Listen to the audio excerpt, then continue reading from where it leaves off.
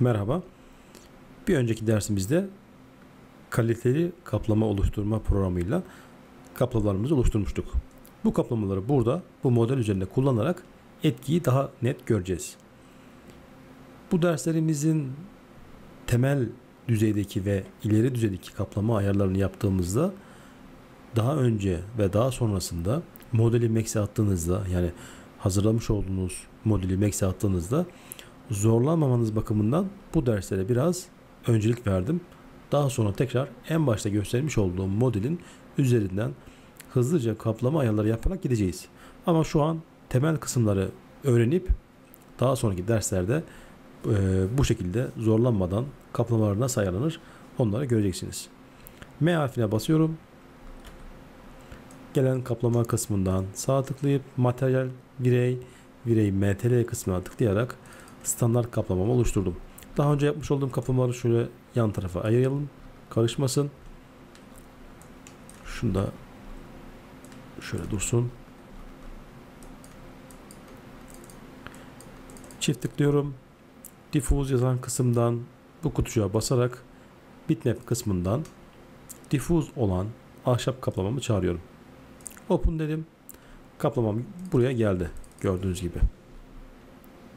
Daha sonra model seçiliyken şu kısma basarak kaplama model üzerine gönderiyorum ama gözükmüyor.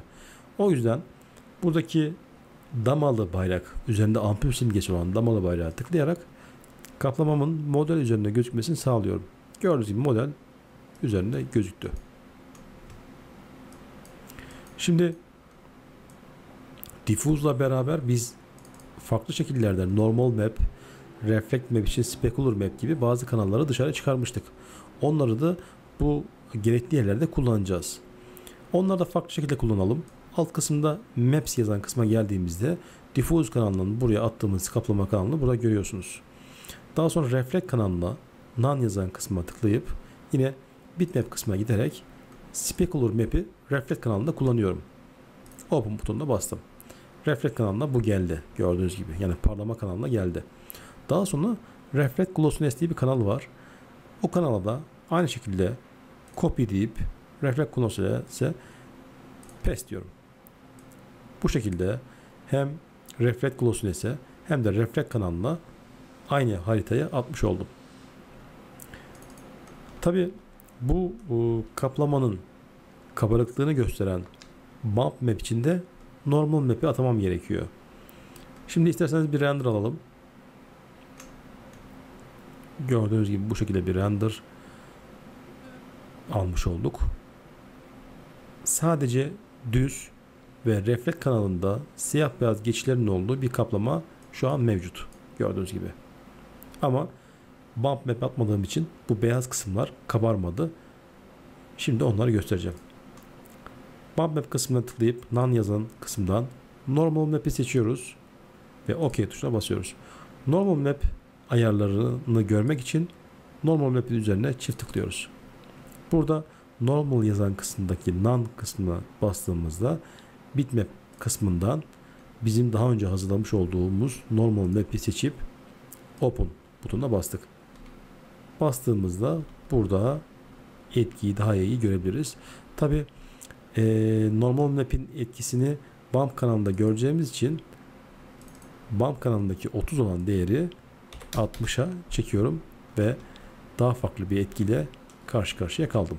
Tekrar render butonuna basarak beyazların daha da e, kabardığını göreceksiniz.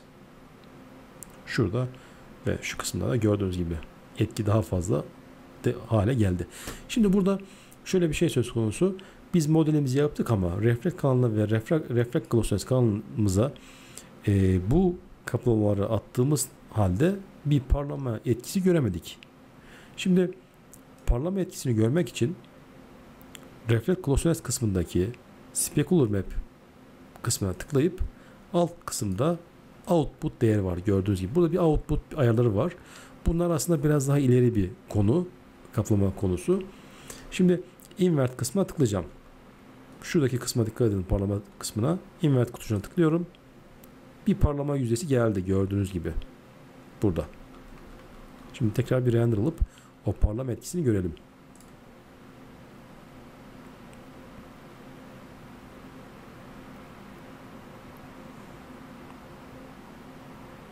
Evet.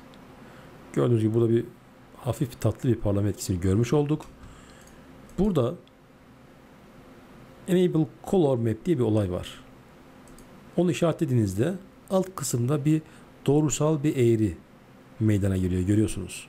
Şimdi bu doğrusal eğri aslında model üzerindeki siyahtan beyaza olan geçişi parlama geçişini biraz daha soft veya kesin yapmanızı sağlıyor. Bu biraz daha detaylı bir olay. Bunu yapmak için, kullanmak için buradaki add point yani buraya bir nokta eklemem gerekiyor ki ben bu doğrusal eğriyle oynayabileyim. Add point diyorum. Buraya bir tane nokta ekledim. Nokta tam burada olması şart değil. İstediğiniz kısmı ekleyebilirsiniz. Ben hafif bir orta kısmı ekledim. Move butonunu alıp bu noktaya tıklayarak taşıdım. Şu an keskin bir eğrisel oluşturdum ben. Keskin bir geçiş. Render butonuna basalım.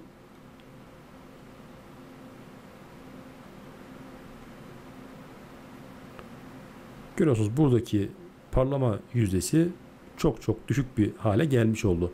Yalnız e, bunu daha softlaştırmak için sağ tıklayıp Bezier Smooth yani yumuşak geçiş dediğimizde e, geçişin daha smooth olmasını sağlayabilirsiniz.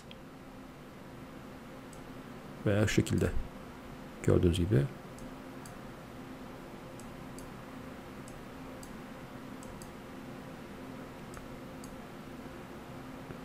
Şöyle hafiften yapalım ve render butonuna basalım.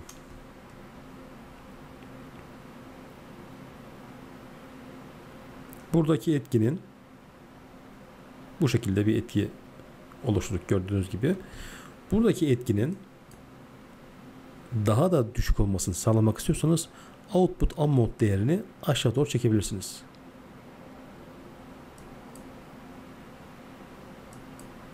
Buradaki parlama yüzdesi gitti görüyorsunuz. Buradaki parlama yüzdesi şimdi gidecek. Çünkü 0.20'ye kadar indim ben burada. Render butonuna bastığımızda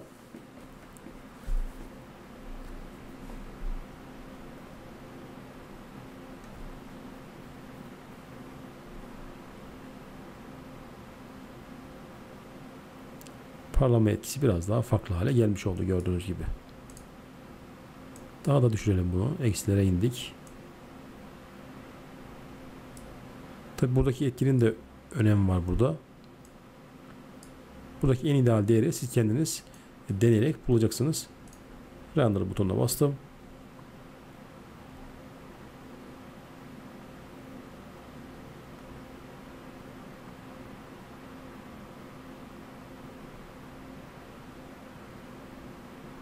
Bu şekilde gayet tatlı bir kaplama etkisi oluşturmuş olduk. Gördüğünüz gibi hem kaplamamızın refleks kanalındaki kaplamamızın kısımları belli oldu. Hem e, refleks luminosity kısımları ayarlamış olduk. Hem de normal maple e, kanalımızı kapatmış olduk. Aynı şekilde eğer daha da farklı bir etki isterseniz şu kanalı silip yine bu kanalı alıp refleks kanalına bağlayabilirsiniz. Render butonuna basalım. Parlama yüzdesi daha farklı, daha fazla olan bir etki e, karşımıza çıkacak gördüğünüz gibi.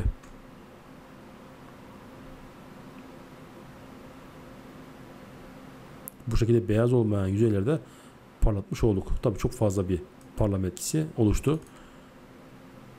Buradan reflekt kanalından bunu düşürerek 20'ye çektim. Etkiyi azaltmak için. Yani reflekt kanalındaki şu etkiyi iyice düşürmüş oldum. Gördüğünüz gibi. Bu şekilde bir sonuç. Buradaki değerleri düşürüp artırarak yani harita eklediğimiz değerleri e, düşürüp artırarak etkinin daha fazla olmasını sağlayabilirsiniz. Mesela bump yüzdesini %100 yapıp e, daha fazla kabarıklık oluşturabilirim. Render tuşuna bastım.